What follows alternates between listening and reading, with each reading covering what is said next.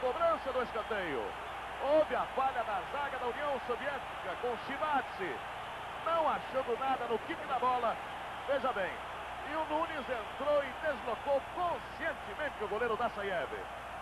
Um Brasil, zero para a Rússia.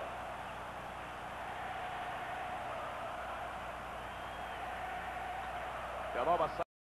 Cherenkov. Andrayev. Boa tabela, pode acontecer o gol de empate da União Soviética. Andrayev travado no H, o tiro e o gol! E o gol de Cherenkov. Uma descida rápida de toques curtos, eficientes para frente, empata a União Soviética aqui no Maracanã. Na marca dos 32, Cherenkov.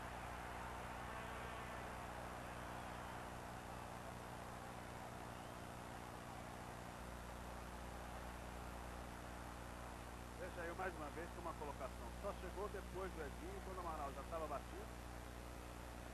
E no giro de bola para trás, mais uma vez vai sobrar um jogador da União Soviética. Mas a gente já vinha circulando. Entrada É o próprio Chablo.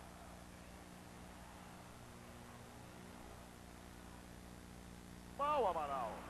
Gol da União Soviética. Impressionante como ficou parado olhando a penetração de Andrayev. Que de cabeça desviou em fazer o segundo gol para a União Soviética. Gol de Andrayev, número 7. Dois para a União Soviética, um para o Brasil. Mas o Amaral não saiu nenhum centímetro da grama. Sócrates vem aí trazendo a bola para tentar botar ordem no time brasileiro, mas na realidade, do ponto de vista tático, você pode observar que a gente queira realmente estar